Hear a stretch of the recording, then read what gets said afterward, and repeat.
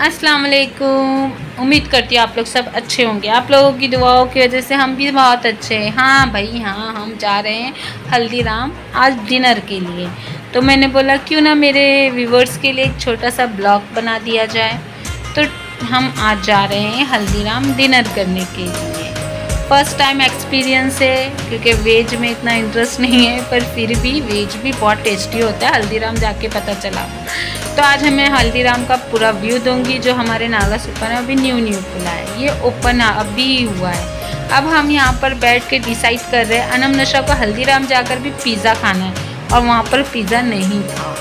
तो अब हम मेन्यू ने हमने मेन्यू डिसाइड किया। हमारा टेबल था एट हमने पहले बुक किया था। ऐसे नहीं है। वो था बट ना, बाहर टोकन मिल जाता है। फिर जाकर वहाँ पर काउंटर पर डिश डिसाइड करना है। अब यहाँ पर डिश डिसाइड करने के लिए फिर से अनम नशरा ने बोला पिज़्ज़ा तो लोगों ने बोला, बेटा रोटी पिज़्ज़ा मिलेगा, यहाँ पर पिज़्ज़ा नहीं है। तो लोगों ने फिर शायद सैंडविच पे एग्री हो गए। और इनके डैडी को तो जो डिस्प्ले पे दिखता है, वही चाहिए। जो देखते हैं, वही खाने का दिल था तो उन्होंने जो भी डिस्प्ले पे दिखा वही ऑर्डर कर दिया। जैसे कि हमने ऑर्डर किया था एक नवाबी थाली यह वॉशरूम शो करा रही थी। अच्छा था, छोटा सा है कोजी सा है बट मस्त है। अच्छा है। एक टाइम एक्सपीरियंस के लिए अच्छा है। अब यहाँ पर हमारा डिसाइड हो रहा है डिनर जैसे कि बहुत स्पेशल डिस्कशन है। अब हमने डिसाइड कर लिया। अब हमें जाना है सेकंड काउंटर पर, जहाँ पर हमको मिलेगा टोकन मीन्स ऑर्डर का पेमेंट करना है। अब इसके रेडी आ गए हैं बाकी सब सेल्फ सर्विस नहीं है बट इतना तो करना पड़ता है जाने से पहले मतलब बैठने से पहले. अब यहाँ पर हमने दे दिया हमारा ऑर्डर जो जो है एक्स्ट्रा जो भी बोलना था.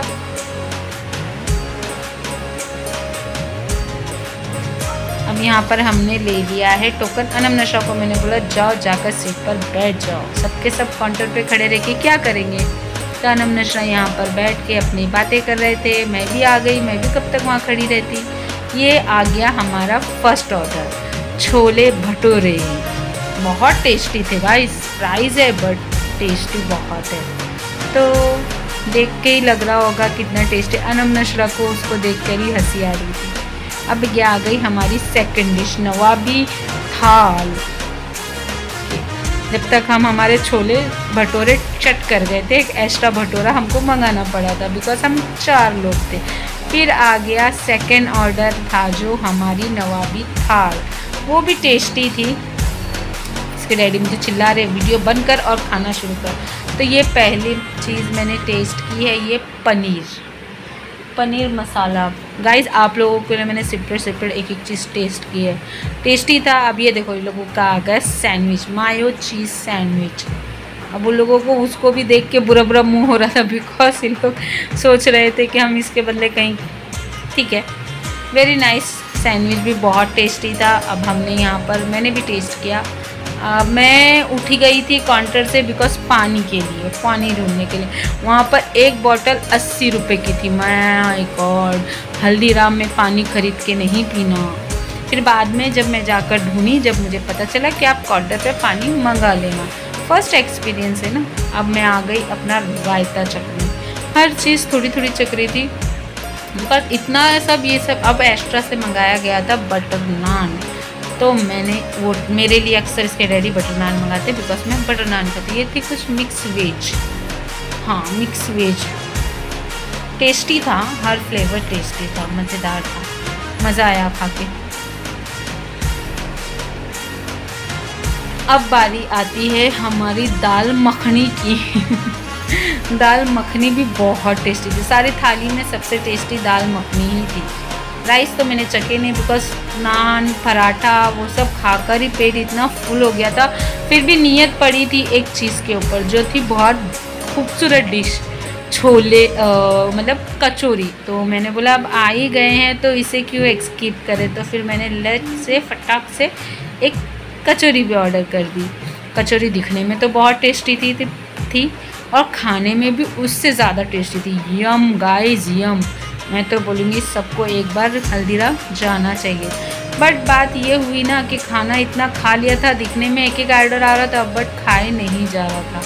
तो मैंने तो कैसे तैसे खा के हो गया मेरा बाबा मैंने उठ गई, अब उसके डैडी को मैंने बोला, आप फिनिश करो नम नशा तो ऑलमोस्ट पहले ही छोले पूरी और सैंडविच में ही वो फुल हो गए थे।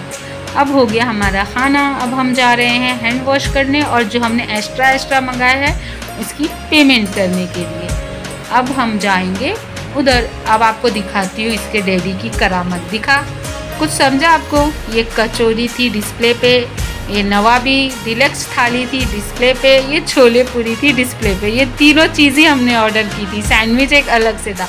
मतलब जो दिखता है वो ही इनको चाहिए। मीन्स जो अच्छा दिख रहा था, उन्होंने वो ही मंगाया था, जो वहाँ पर सबसे ख़ास था। हमने वही तीनों चीज़ मंगाई थी और अनम नशरा ने अपने लिए सिर्फ़ एक एक्स्ट्रा से सैंडविच अलग से मंगाया था। वही एक चीज़ मेन्यू में से देख के मंगाई गई थी, समझ के? अब हम जा रहे हैं बाहर। चलो, अल्लाह हाफिज़। हल्दीराम जी आपका एक्सपीरियंस अच्छा था। उम्मीद करती हूँ दोस्त दोस्तों आपको मेरा ये हल्दीराम एक्सपीरियंस अच्छा लगा। तो बेस्ट बाहर आकर क्या बोल रहे थे पता है? इससे अच्छा हम बर्गर किंग या फिर के चले जाए की चॉइस बिकॉज़ वेज था ना।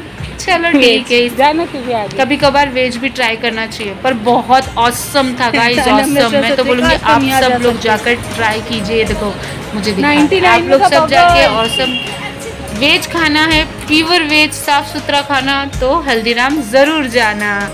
तो चलते हैं दोस्तों, अल्लाह हाफिज़, दुआओं में याद रखना। फिर मिलेंगे वापिस। पता है बिनिश का बर्थडे ब्लॉग पेंडिंग है। इनशाला नेक्स्ट ब्लॉग बिनिश का होगा। Birthday blog. Please wait and watch. अल्लाह हाफिज़।